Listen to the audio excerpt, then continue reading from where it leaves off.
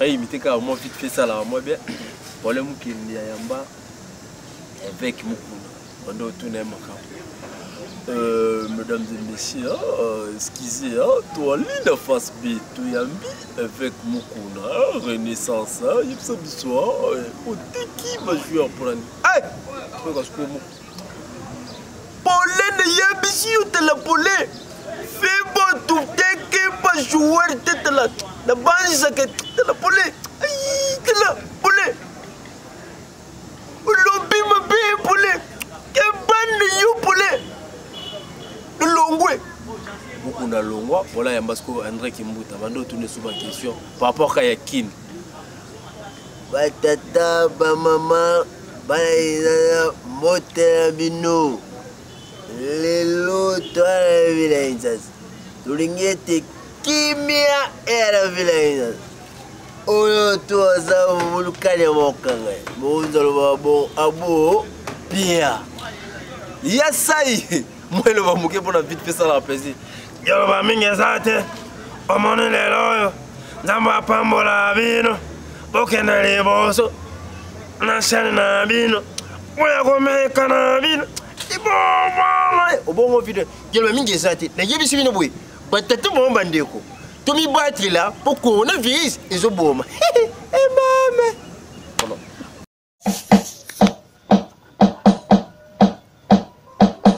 bonjour bandeko balandi ya chaîne na biso film ya kitoko na yebi bozali ebele devant baposte ya téléviseur na bino voilà sur ce plateau nayambeli bino art artiste comedien na kombo ya Dola Star oyo aye lelo kobetela biso lisolo concernant carrière na ye. Voilà, il est là en face de moi à qui je dis bonjour. Ouais, bonjour maman. Mwasi kitoko. Bonjour mpe na bato baolanda biso. Euh, bamosusu bakokutana na babutu, bonsoir, bamosusu bakokutana yango donc bambote ebele ebele quoi. Uh, Dola Star, donc c'est la toute première fois toyamba yo na plateau na biso tolingi un peu omeka un peu kobetela biso lisolo selon parcours artistique na yo ouais ouais merci mais euh, parcours na biso ezalaki mwa mpasi euh, ti lelo mpe tobunda kaka biso soki bajeune na, na komi na biso ngaba napesi bana tu ya ngaba mbote bato mosusu bayebaka te pesi bango bambote ebele tobandaki kaka kosekisa na baeglise na baaveni vi ke tellement tolingaki mosala yango mwa mingi tozalaki na mposa mpe bato badecouvert biso tobenda kobeta mpe mwa baporte eh, nabeta porte kote ya ve na biso mwa boye anosanjwa nolata kwa mado esombo nakoma wana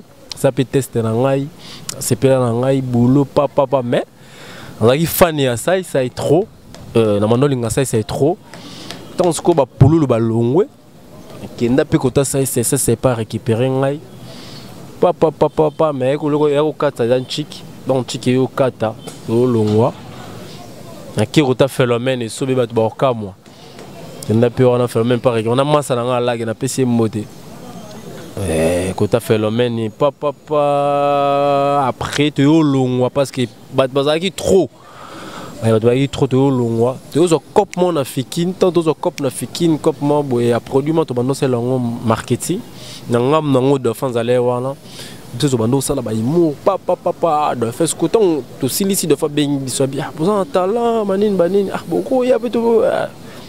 tokenda mpe chez dauphin après ngai na yo okima eya alagi abandi ocontinue bango dauphin ngai akima te par rapport ya nciki banini après ayebisi ngai te ya mpena kuna masolo eza bien manini manini kutu cop moko eza wana cop moko ya basalisi ya basali publicité moko boye ya baministre boye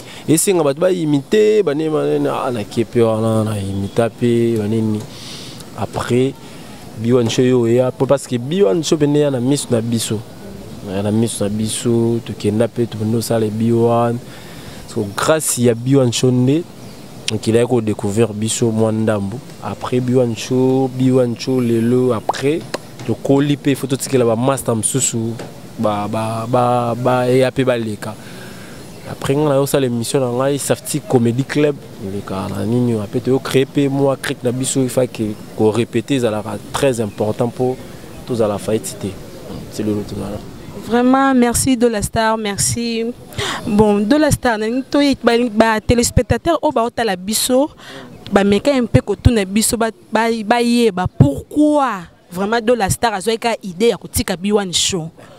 pourquoi hein, atika atika kaka dorfe kaka boye parce que dorfe nde moto azwaki ye mpo lelo do la star ayeba na kinshasa mombe eyeba ye poto eyeba ye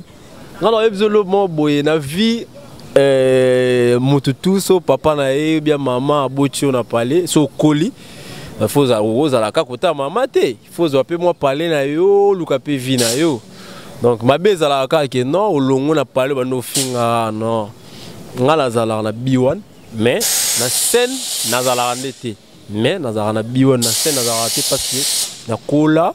nasenga pe père na ngai nakomi mpe mokolo nabeti bafestival toseka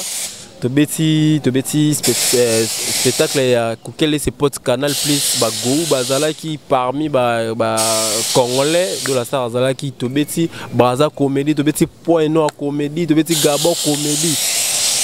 omoni mpe ke biso mpe fo tocree eloko moko mpe nyonso tona mpo kaka ke non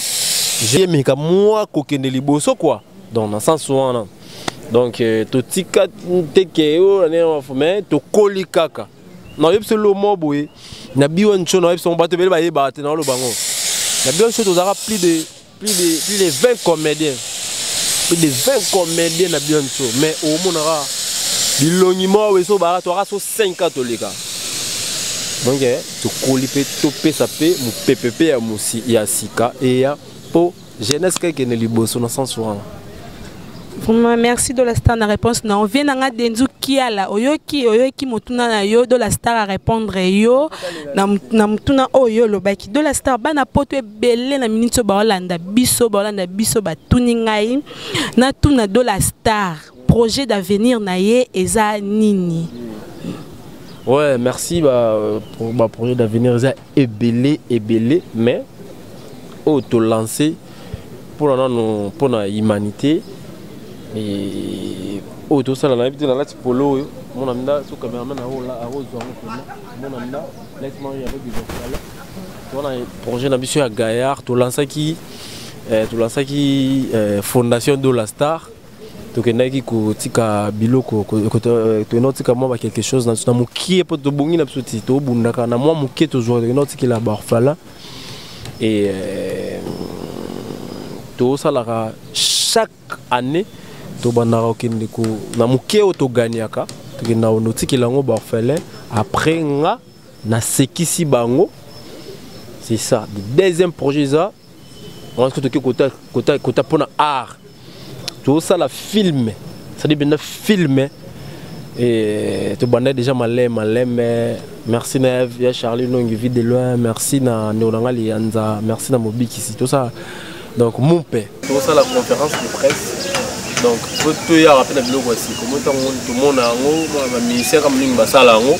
omona ke balingi babeta mwa spectacle na ye mi alingi amimisa nzembo na ye il faut asala mwa conférence na ye après wana tolance conférence nayebi ke chaîne na bino mpe boinvitation na bino kasi na bino mpe botekaka te kaso biso ojeki mosu kitoko donc euh, voilà ojo mpena toza nango tozo réalise mpena nango Ok, merci de la star, merci merci na yebi keba na poto bayoki projet d'avenir na yo baza ebele oyo mpe bakomeka mpe kosoutenir yo mado la star tolingi omeka mpe koexplike biso relation nini oza nango na baami na yo baartiste ouais relation eza kitoko tosola kitoko omoni na filme wana osala ya fabre oyo omona eh, mina grand poete ya charlie azali liyanza mobikisi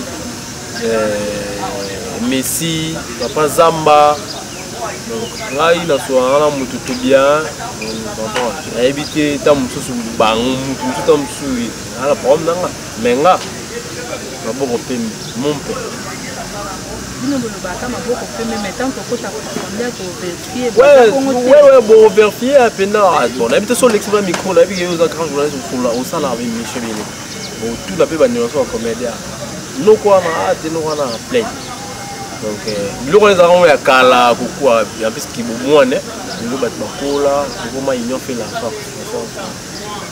Vraiment merci merci mais tondimi te mais à la prochaine tozongela ka sujet wana eh bon dola star eza na pai na poto ebele ebele ebele bakomeli nga ba bituni na biso dola star relation nini baza nango na fabrigas parce que bakomi oconfondre yango na fabrigas ah, bon torapepele eh. napesi moti bon retour ya mboka ayaki lobi donc rasoza eh, bien aza grand frère sepela na peti na ye petit na ye mpe asepela na ye eh, en plus aza congolais nga mpe congolais donc eh, tokutani na biso kaka makila esepelani nango nini bon le 21 kutu toa na concert na lyon 21 mars ouais donc eh, topesi bana lyon to mbote balinga biso babi concert année eza wana toza solo biso bien resto yango kitoko ezaka v na petit na ye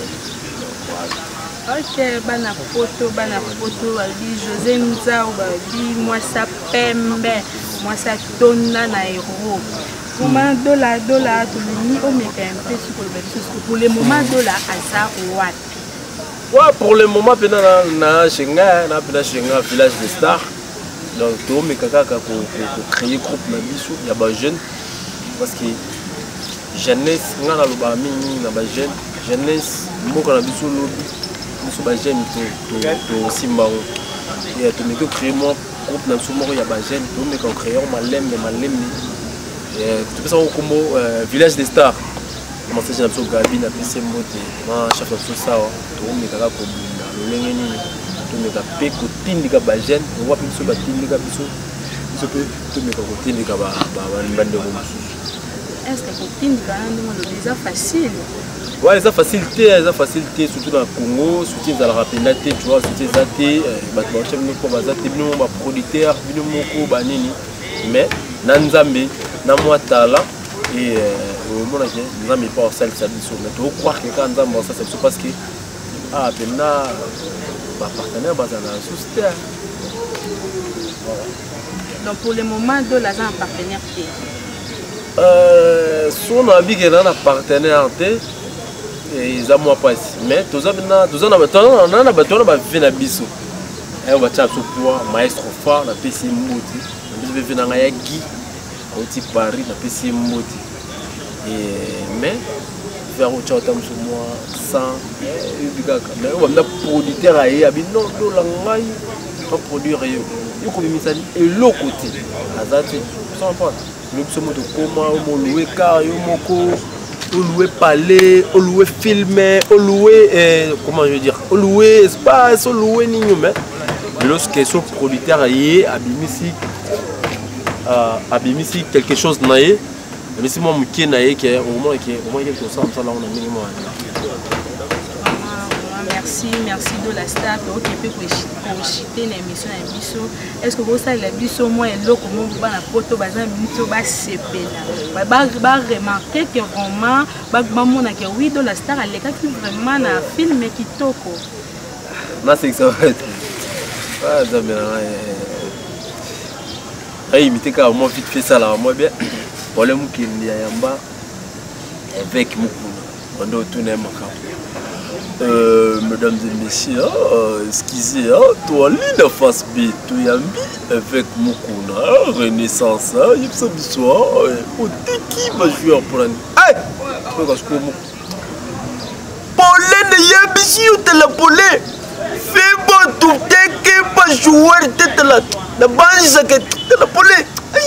tala pole olobi mabe pole kebande yo pole lolongwe mukunda longwa bola yamba sikoyo andre kimbuta banda otuna esuba question par rapport ka ya kin batata bamama bana izala mbote na bino lelo toala ya vila ya nzanza tolingi ete kimia eyala vila ya nzanza oyo to aza molukani ya mokanga bokonzi aloba bo abo pia ya sai mwa eloba moke mpo na vite mpe esalaka plaisir yoloba mingi eza te omoni lelo oyo nzambe apambola bino bokende liboso na shani na bino boya komeka na bino ibomama obongo video yoloba mingi eza te nayebisi bino boye batata bango bandeko tomibatela mpo coronavirus ezoboma emame eh, Vraiment, merci de la star, merci.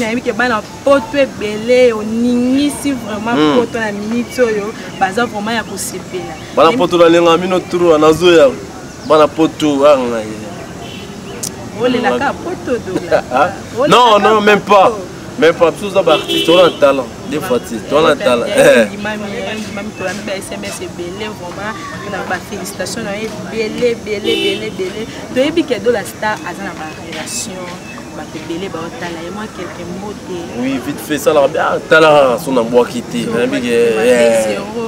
napesi mbote na cg gabi ya olanda biso napesi artiste sawa napesi bavillageois de star to mbote napesi serge kalambai na états-unis vimi bongonga jean-marc makusu claudi ngonda nga ba jogo na nga nabosani te masa na nga luzolo